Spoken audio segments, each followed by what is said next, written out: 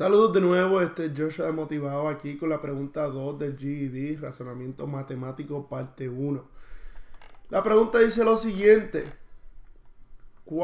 Cada uno de los cuatro CDs puede contener hasta 3.6 horas de música grabada.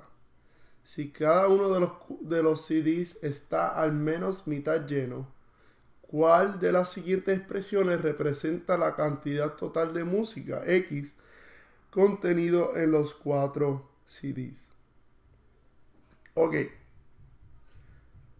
Tenemos que extraer la información que nos están dando, ¿ok? En el GED van a haber muchas e, este, preguntas verbales y uno tiene que entender cómo sacarle la información a las preguntas verbales, ¿verdad?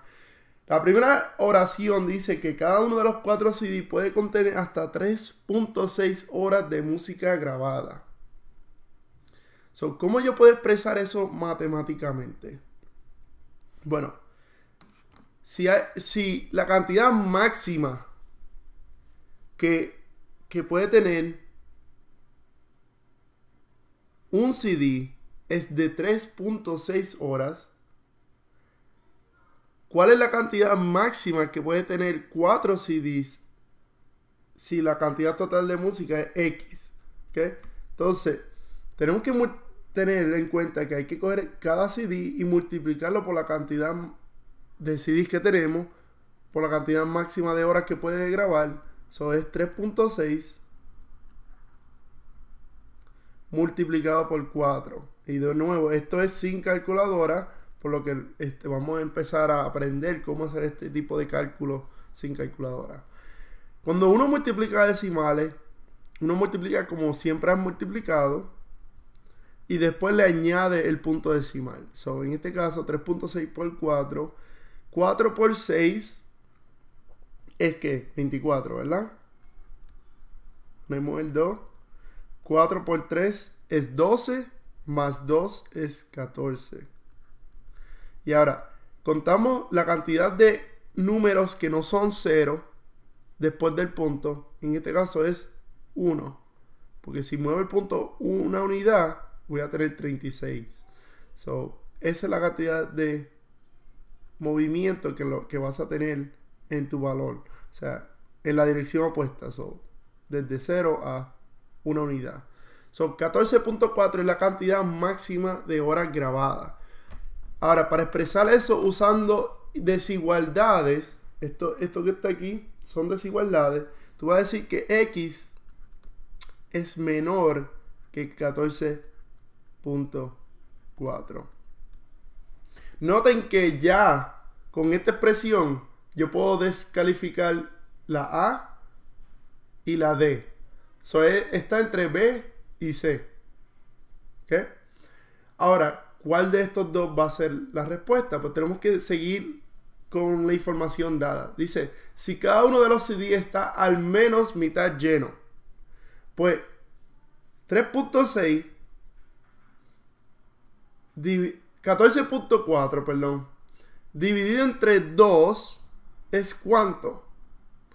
Bueno, claramente no es cero, ¿verdad? Y va a ver que sí es igual a 7.2, ¿verdad? Porque si multiplicamos 7.2 por 2, voy a tener 14.4. Y esa es la respuesta, es la C. Pero imagínense que quieres hallar ese valor. 7.2, 14.4 dividido entre 2. Son 2 dividido 14.4. ¿Ok? En división, cuando uno tiene un punto decimal, uno lo escribe encima de ese punto decimal. So, en este caso, ¿cuántas veces cabe el 2 en el 14? Pues cabe 7 veces.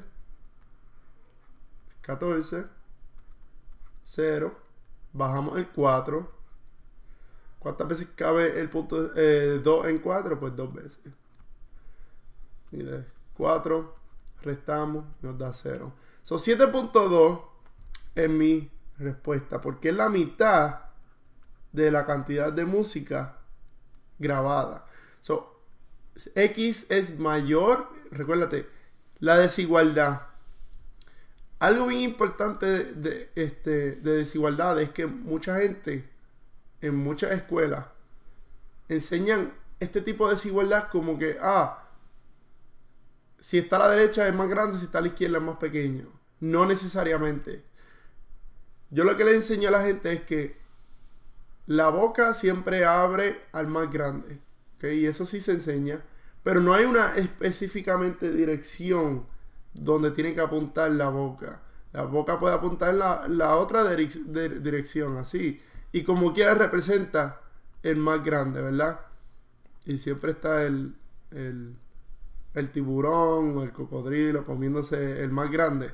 Pues aquí lo mismo. X siempre va, este, la desigualdad siempre apunta hacia el más grande. ¿Ok? es bien importante saber porque van a haber muchas desigualdades en este examen. Ahora,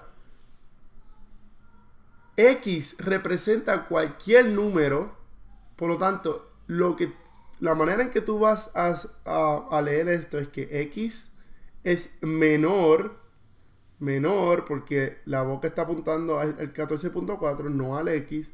So, X es menor que 14.4, pero X es mayor, mayor que 7.2. Y la respuesta viene siendo la C. De nuevo, si les gustó el video, dale like, suscriban a Motivado y espero que les haya gustado.